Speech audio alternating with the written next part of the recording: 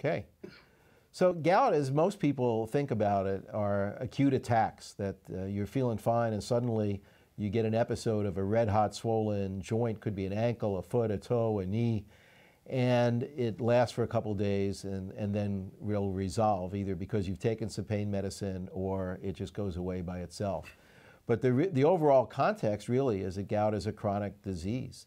And, and gout comes from the buildup of, of uric acid, a normal chemical which we all have in our bodies, but if our levels are too high and the uric acid in the blood starts to settle out, kind of like uh, icing on, on, a cake that you get in around a joint, that the uric acid coats the joints, and then over time, as it builds up, it will break down, and you'll get crystals of that uric acid break loose in a joint, and you suddenly get this uh, red hot swollen uh, attack uh, of gout, and that can come on uh, at any time. Uh, Anthony's experienced that, and he can certainly describe what that's like. Yeah. Um, in 2005, I was 25 at the time. I was playing with the San Francisco 49ers. Uh, we just had a game on Sunday, Monday, and Tuesday. I work out, lift, do everything that I can to keep my body in tip top shape.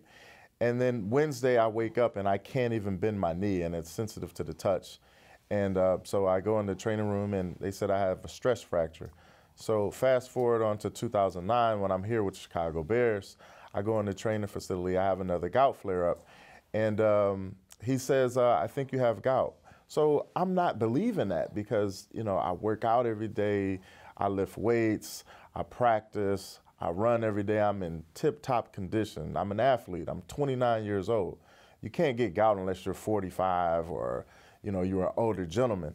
And so I just wasn't, I wasn't believing it. And so uh, we went to a rheumatologist and um, he checked my uric acid levels and sure enough, I had gout. And so ever since then, I just started educating myself because I didn't want to feel that pain again. If you can picture a hammer coming down on one of your joints, that's what gout feels like. And so I, I went to websites like gouteducation.org and I just educated myself because I don't want to feel that pain again. So the gout, the gout that happens, um, it can keep happening. You can keep mm-hmm. getting uh, attacks very frequently. Yeah. And th those attacks will keep happening until you lower the uric acid in, in your blood enough that those deposits of uric acid, the icing on those joints, will actually dissolve and, and the body gets rid of them.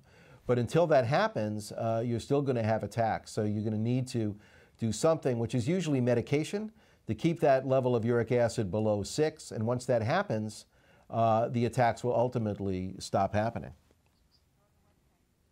And uh, a good place for education that you can get and information is gouteducation.org. Uh, on, the, on the internet, you can find that. It has a lot of uh, very useful uh, information for you.